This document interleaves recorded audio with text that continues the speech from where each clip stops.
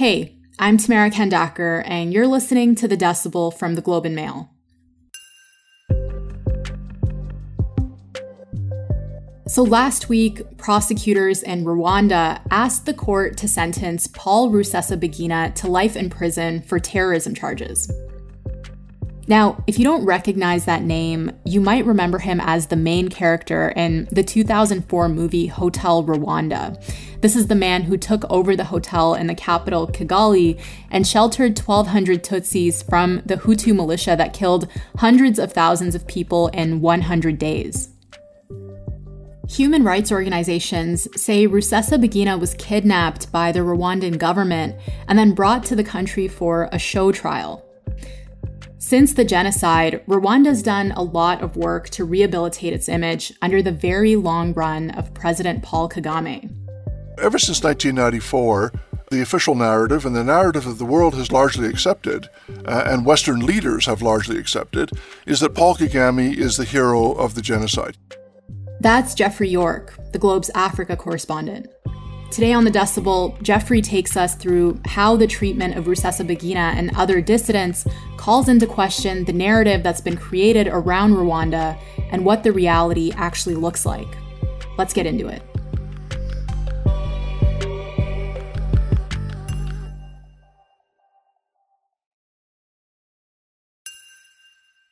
Geoffrey, hi. Thank you so much for being here. Thank you.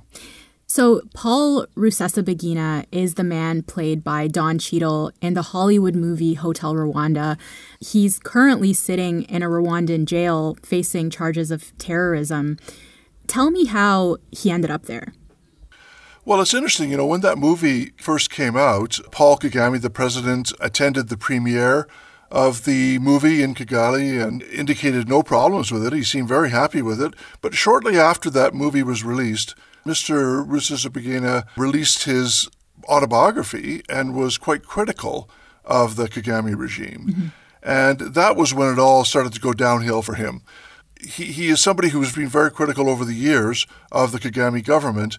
And it's very clear that the Rwandan regime does not want critics of Mr. Kagame to be regarded as heroes of the genocide. So he was accused of falsifying his story, of not being a hero at all. His whole version of that was in the movie was widely attacked in the mm-hmm. state media in Rwanda. And finally, what happened last year is uh, he was lured to Dubai on the pretext that he would be connecting to a flight that would take him to Burundi to speak at a church event. In fact, he was tricked. He was put onto a private airplane in Dubai that had been paid for by the Rwanda government, as the government later acknowledged. And he was flown against his will to Rwanda, where he was immediately arrested, of course, and put in solitary confinement for several days and charged with terrorism. The Human Rights Watch has called it an enforced disappearance, which is contrary to international law. But he is still on trial without getting into the question of the evidence for and against those charges of terrorism, which basically are about how much support did he give, if any, to armed militia groups in Congo. What is clear from the trial is that it's not following international judicial norms. He is not allowed to talk freely to his lawyers. He's not allowed to talk to international lawyers that he has hired. His communications with his lawyers have been intercepted. And I don't think anybody's in doubt about the outcome. Mm-hmm. It's very clear that uh, he's going to be convicted. Right. And Paul Rusesabagina isn't the only person who's allegedly faced consequences for challenging the official version of history in Rwanda. Can you tell me about some of the others and, and what happened to them? Well, there's been dozens and dozens of cases of opponents of the government either being imprisoned, killed, exiled, arrested, harassed, and so on. Last year, there was a case involving a gospel singer named Kizito Mihigo. Now, he was uh, an incredibly popular uh, musician in Rwanda, and then one day he recorded a song in which he, he called for mourning for the victims of the genocide, but he also called for mourning and compassion for victims of revenge killings. In other words, the Hutus who had been killed by the Rwandan army and so on during the course of the genocide or afterwards. And that is something that the Rwandan regime does not tolerate. So he was immediately arrested, placed in prison. He was beaten, he was tortured, he was forced to apologize. He was eventually released after his apology and so on. But then he tried to leave the country, he was arrested again, and then he mysteriously died in police custody. So, what kind of evidence is there linking the deaths of at least some of these dissidents with people in the Rwandan government? In South Africa, I mean, I've talked to at least two of the people who were hired to kill Rwandan dissidents in South Africa. And we documented this in the Globe and Mail in a story a few years ago. There was uh, audio recordings that we obtained in which the head of Rwandan intelligence tried to organize assassination plots to kill the two leading dissidents in South Africa, Patrick Karegeya and uh, General Nyamwasa. Mm-hmm. Those two people were subjected to attacks for a number of years, and as we know, finally on New Year's Eve 2013, Patrick Karegeya was strangled to death in his room in a luxury hotel in Johannesburg. The, the other leader of the Rwandan National Congress, the opposition group, General Nyamwasa, General Kayumba Nyamwasa, was himself subjected to a number of attacks over the years.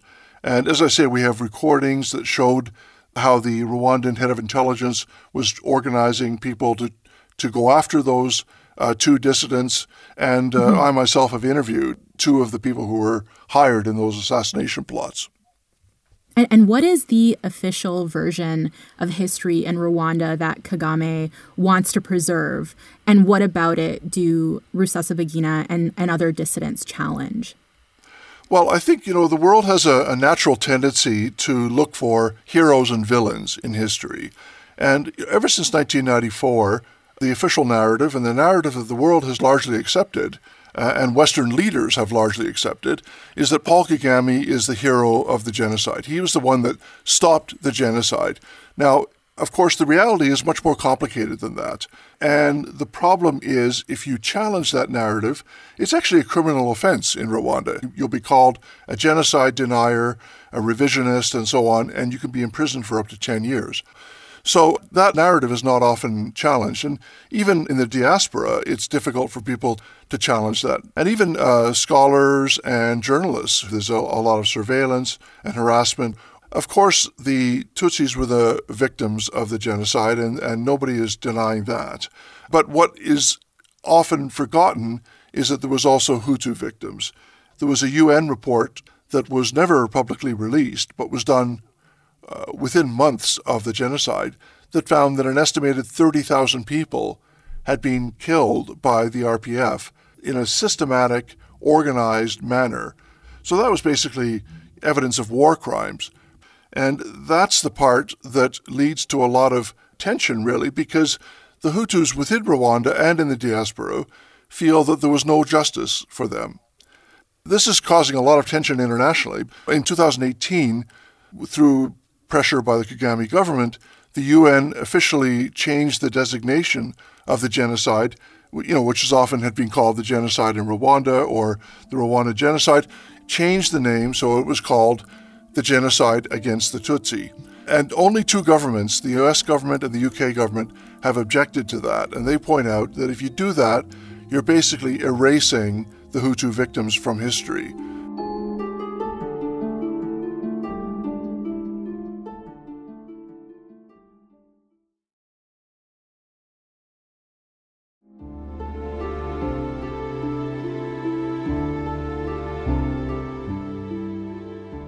Why is it so important for Kagame to have an official version of history? And I know that there's two, probably two different answers to this. So, what does his government say, and what do his critics say? Well, you know, you look at the fact that he's been in power for 27 years. Uh, the first few years he was in power, he wasn't the president, he was the defense minister, but everyone knew he was running the country. He also has changed the Constitution so that he can rule for another 13 years, which would give him a total of 40 years in power. And in every election, he is reelected with more than 90% of the vote. So that in the last election in 2017, he had 99% of the vote. Now, if you have that kind of record mm. of constantly maintaining power, never allowing any opposition, then you need a way to legitimize that. You need a way to tell the world, don't worry, it's not a fair system. I'm always getting reelected, but don't worry, I'm a good guy. So the main reason that he tells the world that he's a good guy is because of the events of 1994, where he is portrayed as the man who stopped the genocide. That's a big, big part of his legitimacy. He doesn't have democratic legitimacy because nobody really believes those elections, uh, especially when the, his opponents have been either disqualified or arrested or jailed or, or whatever. Right. I think a lot of people, at least here in Canada and in the US, think of Rwanda as a success story now. So many people um, do credit Paul Kagame with ending the genocide. The country is called a model for truth and reconciliation after conflict. I've heard about Rwanda's high proportion of female politicians. It's a tourism destination. How do we square that with this political violence that we're, we've been talking about? There's many governments that are heavy donors to Rwanda, to the Rwandan government, including Canada. This kind of uh, mythology about it being a, a model for the world is often used to justify these hundreds of millions of dollars in annual donations that many governments are giving to Rwanda. For example, yeah, it's often said that a large number of MPs in Rwanda are, are female, but the problem is they have no power. It's a, basically a one person dictatorship.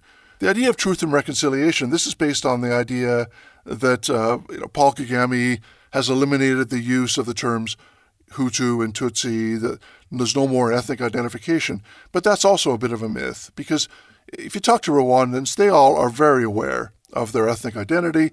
Of course, everyone knows that uh, the Rwandan government is dominated by the Tutsi. There may be some token appointments here and there, but it's basically run by the Tutsi. So it's hard to talk about truth and reconciliation when there's been justice really for only one ethnic group in Rwanda. It's true that he has a lot of popularity because, of course, he controls the state media. He controls every aspect of uh, the government and the security apparatus. It's natural that people would support their leader. But on the other hand, we don't really know what a free and fair election would produce because there's never been one. Now, the problem is in the international community, he is seen as the person who is, you know, sort of bringing Rwanda out of poverty, generating economic growth, and so on. But, you know, when you look more closely at the statistics, and there's been some recent studies about this, in fact, the official statistics on reducing poverty, producing economic growth, and so on have been very seriously questioned by some very strong independent studies. And it seems that, you know, there's pretty good evidence that the reduction of poverty has not been nearly as much as the government has claimed and as uh, external donors have claimed. So, you know, there's a lot of question marks about whether he has achieved as much as the international community likes to tell us, really. What is Canada's response to the arrest of Paul Rusesabagina and to the political assassinations in, in Rwanda and abroad that people say that the Kagame government is responsible for? Yeah, uh, the Canadian government has been very quiet about all of that. Uh, I have asked them what their position is on the trial of Paul Rusesabagina, and they have said simply that they think he'll be provided a fair and transparent legal process by the relevant authorities. Uh, so uh, that's saying that they uh, basically trust the system in Rwanda. You know, a few other, uh, well, human rights groups and so on have been very critical and ha- have questioned whether there is an independent justice system in Rwanda that can be uh, relied upon to give a fair verdict in a case like this. So Canada's been very quiet. And I think this is part of a, a larger pattern. Canada, over, over the years, since 1994, has provided more than $500 million in development aid to Rwanda. So, to a large extent, Prime Minister Trudeau has hitched himself to the Kagame government. And now, if you look at the reasons for that, I think the main reason that it's easy for the government to do that, the Canadian government, is that in Canada, we only have a vague notion of Rwandan history. And that notion was very much cemented into place in 1994 and 1995 when the narrative, you know, from the mainstream media in Canada and internationally was that the Kagame government and the military, uh, the RPF, was basically ending the genocide. That once that hmm. narrative mm. cements itself into place, then Canada, like most other countries, has this very much this view of good guys and bad guys. And uh, as long as Paul Kagame continues to be seen as a good guy, then Western governments are not really talking about the evidence of war crimes, the assassinations, human rights abuses, all the evidence that Rwanda is very much almost a totalitarian state. Why do you think that was? Why was there so little reporting by the many journalists covering Rwanda about the other side of this? You know, there was a recent book by the British author Michela Wrong. The book is called Do Not Disturb, which is a reference to the hotel room where Patrick Karegeya was killed on New Year's Eve 2013. But it's also a reference to the Western world's, the Western government's attitude towards Rwanda, which is also do not disturb. And uh, she looked at how that narrative came into place in 1994. And uh, a lot of journalists that she talked to who covered the initial period of the genocide uh, said that they were basically traveling with the RPF. They were dependent on the RPF for translation, for hmm. transportation, and so on. So they were taken to killings that the RPF wanted to show them, and they were not taken, they were not shown other killings that were done by the RPF itself. So uh, that's that was you know partly just a result of kind of the logistics of uh, how the media were able to cover it. There wasn't much media coverage at all in the beginning days. I mean, you have to remember that uh, 1994 was the year when um, Nelson Mandela became the first democratic president of South Africa. Most of the media were covering the election in South Africa. They were not covering the genocide. Mm-hmm. I-, wanted to, I guess, present one quote to you from this 1994 human rights interview with uh, a policymaker in the US. And they said, We have three choices support the former genocidal government, that is impossible, support RPF, that is possible, support neither, that is unacceptable because it might result in those responsible for the genocide coming back to win. Do you think that is part of the calculation? Like, do we not want to destabilize Rwanda because maybe Kagame has been good for Rwanda? Yeah, I think you're right. Especially in the initial years after the genocide, there was an international concern that the Hutu government, which uh, the Hutu, you know, the people who perpetuated the genocide had fled to Congo and they could come back and fight again or, or try to take over the country again. So there was international concern about that, and the feeling was the only way to stabilize Rwanda in those early years was to support Paul Kagame. But what's happened is that uh, initial decision has sort of frozen into concrete and has become a, a forever decision. And today, you know, 27 years later, we still have the same policies that were determined in those early months and years after the genocide. Mm. You know, in 2010, a Hutu politician named Victoire Ingabire came back and decided to run for president. And she said that one of the things she wanted to do was to bring justice to those who had not yet received justice, which is the Hutu victims. And she was almost immediately placed in jail for many years. So the messages from the Kagame government is that the Hutus are effectively powerless. They cannot have a legitimate campaign for president. They cannot talk about their grievances. Uh, and that, you know, according to a lot of analysts, is actually creating a dangerous situation where the government seems very stable, but there's a large, large proportion of the population that is quite unhappy, that feels aggrieved, that feels that it never had justice, and that that actually creates an unstable situation. So, you know, the argument uh, that uh, a dictatorship is more stable than a democracy you know, internationally has often been proven wrong. Mm. And uh, so the idea that one authoritarian is the world's only hope of preventing bloodshed in Rwanda, I think is just increasingly known to be false. That's it for today. I'm Tamara Khandaker. Our producers are Madeline White and Kasia Mihailovich. David Crosby edits the show. Angela Pacienza is our executive editor. Thanks so much to Geoffrey York. You can find Geoffrey on Twitter or at theglobemail.com. Thank you so much for listening, and I'll talk to you tomorrow.